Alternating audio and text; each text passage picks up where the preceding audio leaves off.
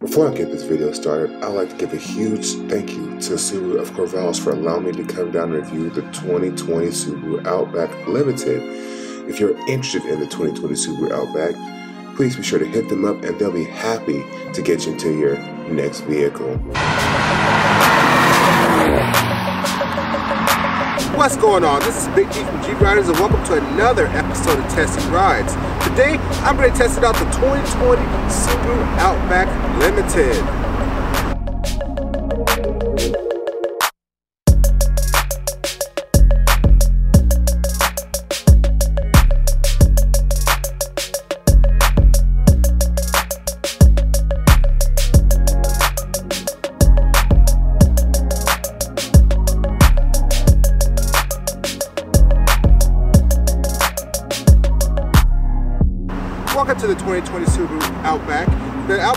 Outback is sixth generation, and of course, it has up, it has an updated powertrain. It has the updated new tech features and safety features, and it's more efficient and it's bigger.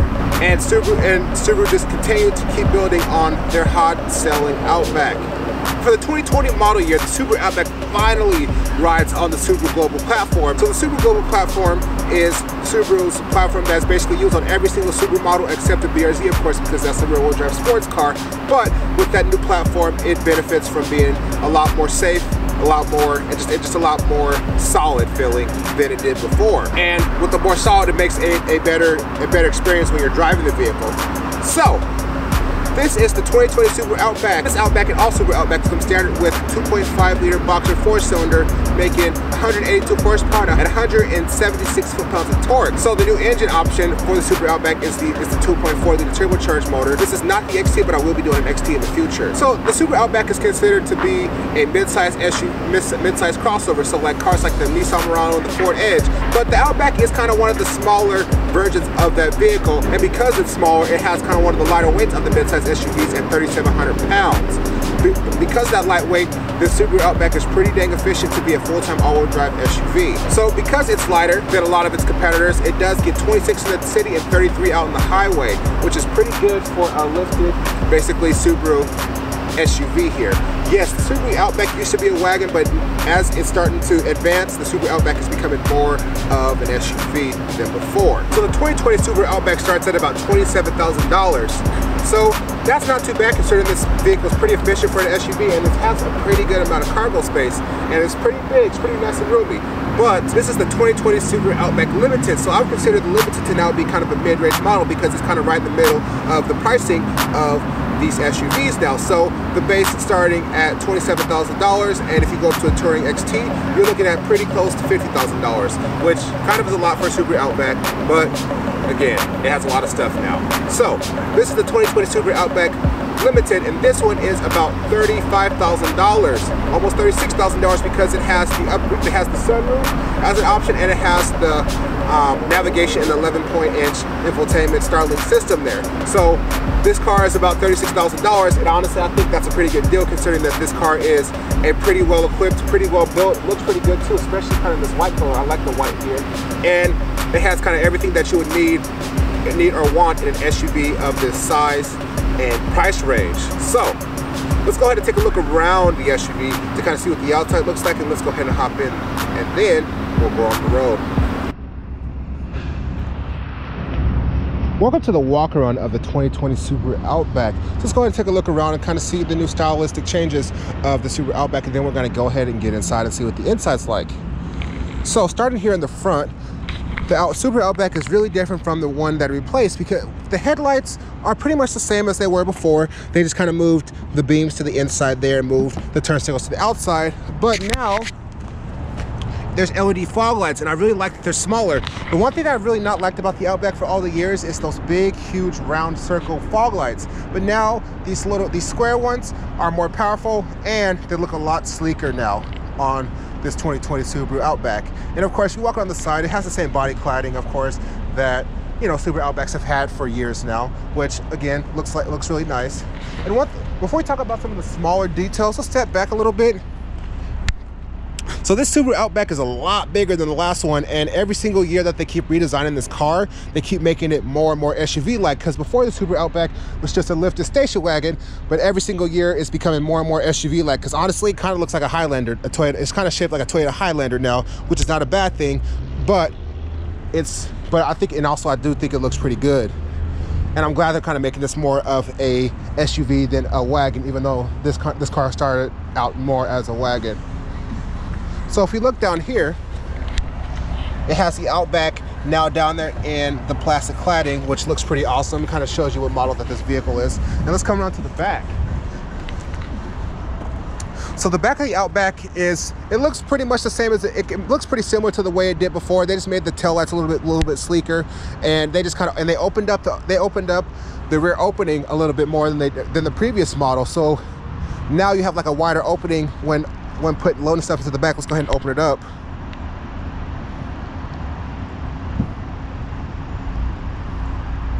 So you got a little bit more wider of an opening.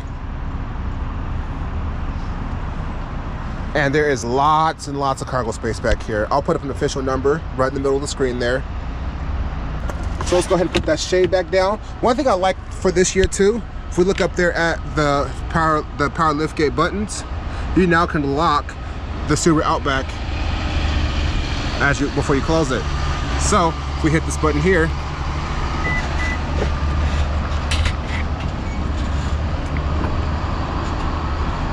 now the lights flash that it's off. Come around to the other side here. It has kind of this kind of some pretty, you know, generic Subaru Subaru style wheels, which aren't aren't a big deal. I think they I think they look fine for what it is. But me personally, I'll put some Meteor tires and some nicer looking wheels on here, maybe some black ones, especially with this being a white car. And also, I talked about this a little bit in the Legacy review. I'm not sure if this is coming out before the other one, but if we look here at the mirrors, if we look here at around the around the side there, there's chrome trim all around the outside of the windows. And honestly, this is the only place I like chrome to be. And I think this looks pretty awesome, but it's nice that they kind of made this chrome go all the way across up to the mirrors. So kind of when you, from whatever angle you're looking at it, the chrome doesn't really stop. And I think that's a really cool design. That's pretty a pretty cool design touch. I think they did a great job with that. Let's go ahead and take a look at the interior of the 2020 Subaru Outback. So since this is since this is a new, newer Subaru and it's a higher model of the Subarus, it does have keyless access. So you, all you gotta do is walk up to it, grab the door handle, and open the door up. And there's the inside of the 2020 Subaru Outback. So let's talk about a few things before I get in and really kind of get to the nuts and bolts. So I love the two-tone leather I love the two-tone tan and black interior on this vehicle. So it just makes the interior just look so much higher quality. And I honestly, I think this is the way that you would do a light interior if, if you were to do one. And I like that on this one, it has contrast stitching. It has the black door panels here, but it has the tan contrast stitching just to make this interior look much better. And that carries over to the seats and this got the thigh support in the higher model of the uh, the higher model of the Outback, just like the Subaru Ascent got last year. And then you got you got your stitching across the center console there, and all across the seats and all across the interior. I think that looks pretty awesome. There's some more stitching right there in the steering wheel. I think that looks pretty good, and also right there. All right, so I'm gonna go ahead and get in. Uh close the door. And so he close the door, Starlink kind of powers up and the gauge cluster kind of powers up a little bit, which again, it's just kind of like standard stuff with cars now. So, you know, then hopping in here, this interior is way nicer than it, than it has been before. Like, I love this big 11.6 inch screen, the Starlink screen. That looks pretty awesome. And then it's just laid out really well. So let's go ahead and fire the car up and kind of talk about and kind of look at how everything is when it's fired up.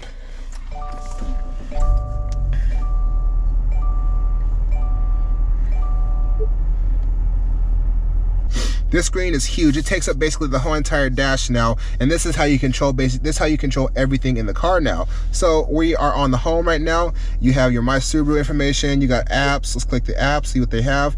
It has Apple CarPlay, Android Auto, Travel Link with Sirius, Sirius Satellite Radio.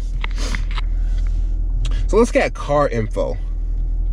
So this here kind of shows you, it's kind of like your off-road kind of like your off-road thing to like to see where your wheels are and kind of see if if your car if the vehicle's at any angle if you're doing some off-roading or anything like that. I think that's really cool. Let's go to advanced setting. So this is all of your safety systems now. So let's take a look so as you can see right there you have there's all those lights there and that's basically what you see up up in front of you like a heads-up display that shows you that talks about all of your kind of safety stuff that's got that all the safety systems that's going on in the car. So it has so if we look here it has lane keep assist it has the uh, the, the it's kind of scan to make sure it's kind of it watches your eye to make sure you're paying attention. It has blind spot monitoring, rear brake assist, and rear automatic braking, and then front end collision assist. So depending on if you're going out of your lane, the the left light or the right light will blink blink if you're going out of your lane, and the, the green light in the very middle flashes just to make sure you're still paying attention, which is pretty cool when you're using the kind of um, kind of um, adaptive cruise control systems that steer and everything. I think that's really cool. So if we go to hit info down there, it tells you what everything does, which is really cool.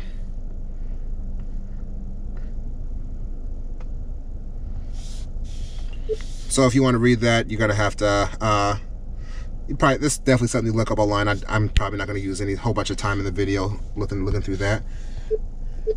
Actually, I'm gonna. Honestly, I might make a separate video about this. So I'll make I'll probably make a separate video about just this infotainment and how all that stuff works. So here, this is all your different maintenance things. So this is engine oil and oil filters, tire rotation, maintenance schedule, and all that stuff. So it tells you when all that stuff is due, which is pretty cool.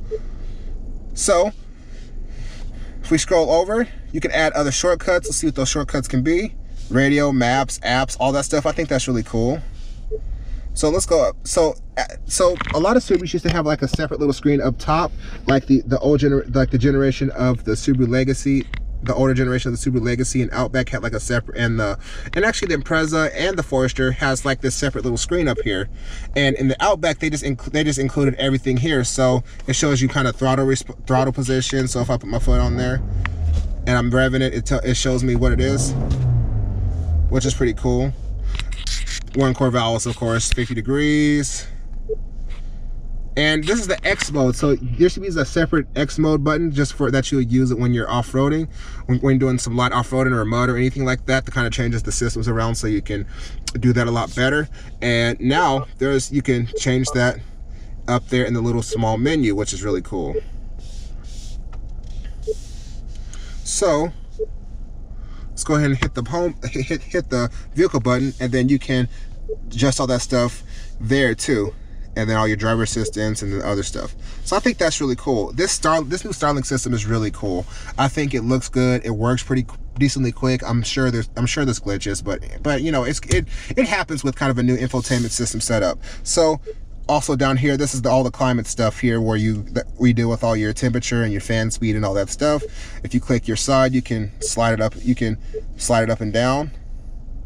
It responds okay and then you turn your seat heater on. I think that's really awesome so let's click this button over there and then this is your driver profile profile so basically like your memory your memory seat and all that type of stuff this is what it's all connected to so the infotainment system in here is really good. It looks really nice and it works decently quick, but there's probably some there there's probably going to be some updates that make sure this thing isn't crashing or freezing up on you too often. So moving over to the other side here, I like this little shelf there where you can put, or where your passenger can put like a phone or some items, or you can put some items or whatever. I think that's really cool. And the seats in here are really nice. They, they look really nice. They're really comfortable. And I love the tan and black interior with the contrast stitching.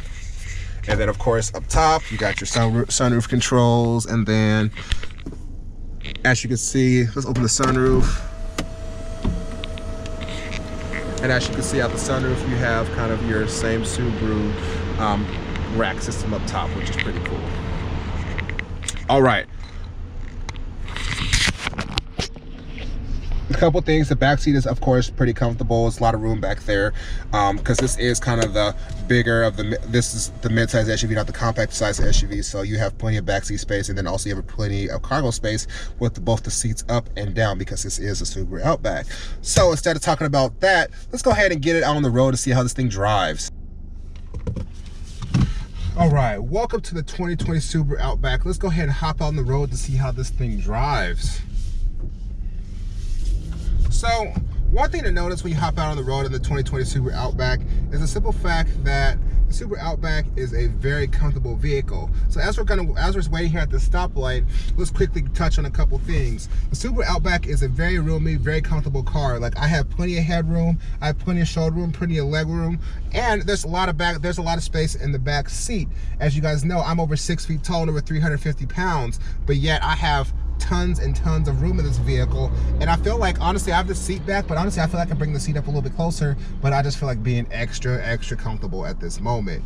So, you know, the interior of the 2020 Subaru Outback is built really nice. Like there's not too many, there's not too many big panel gaps or anything. You, you can tell like the fit and the fit and finish of this vehicle is excellent and it's much improved over the previous model. I thought the last one was pretty decent, but again, they just keep improving on what they're already doing very, very well. So, you know, as we're heading out, as we're turning out onto the road here, we step on the gas and honestly this doesn't really have a whole lot of power but that makes sense because this is the slower version of the car. And, you know this has 182 horsepower and almost at, at, and at 3700 at over 3700 pounds that is not a recipe for any type of fast acceleration. But if you don't care about the power it's enough. Like it's enough to get out of its it's enough to kind of get this thing moving if you kind of keep your foot in it, but it is not the fast version of this car. If you want the fast version of this car, you have to go out and you have to buy the XT model of the Subaru Outback. And that one is the more impressive of the two in terms of its power delivery. So, if you don't care about that, this is definitely enough uh, this is definitely enough for you. So how does the Subaru Outback drive? The new, the 2020 Subaru Outback drives so nice. It's quiet, it's smooth. Every input that you do in the car is just easy. It's just a very easy, solid car to drive with this car with this being an SUV and sitting up a little bit higher you got a pretty good commanding view out of all the windows and all the side windows and everything. So you know if you have to look over your shoulder to get over you can look but also you have the blind spot monitors and the in the side mirrors, and I like that they're there and not in actually in the actual mirror because I feel like you, you can see this a little bit better than sometimes you can see that. You're paying a little bit more attention to that than that, which is pretty cool. So, you know, I've driven a lot of the cars in this class, and like I've driven like because I just recently drove the Ford Edge, and I've drove I've driven the Murano off camera a few times. I've driven the Hyundai Santa Fe, cars like that, because that's what this car competes with. This is the midsize SUV, so this is the Ford Edge, Honda Passport, you know, cars like that, like cars that are not quite big and huge, but they're cars that are not quite the seven, the seven slash eight seater family crossovers, but they're not small either. And that's kind of, and that's what the Subaru Outback is. It's in, right, in, right in that class. It is honestly one of the smaller of, it's one of the smaller in the body um, than of, of one of those. But this is one of the better driving of the better driving models of the of the midsize crossover. Like you know, I just recently drove the Ford Edge. The Ford Edge drove nice, but it did, honestly, it's not as smooth as this. It's not as quiet as this, and it doesn't, and it's not as comfortable to drive as this. Because that's that was my one problem with that car is because it has that big panoramic sunroof, and the way the seats work, the, the, way the seats are the titanium, I sit up a little bit too high. But in this car, I sit nice and low. I feel like I'm sitting in the car, not on the car, and that's a big, big, big aspect of, of, of my comfort in a car is whether I'm sitting in it, not on it. So as I'm cruising along here, all, really all I'm hearing is just like a little bit of wind because it's slightly windy out here. But besides that, this Outback is quiet and comfortable and relaxing to drive. Like I could definitely see myself doing many, many miles in this car. So the seats are so comfortable. Um, I had this is my first time actually driving one of the Subarus with this with the new thigh support, and I love when cars have the thigh support and th thigh support in there because it just makes it feels like for me like I have I've kind of I've I have decently long legs, um, so like it makes it feel like my legs are just way more supported with that extra thigh support there, and it just makes it for a way more comfortable experience when driving the car. So, what do I not like about the Subaru Outback? Honestly, nothing. I think this, the 2020 Subaru Outback is pretty similar.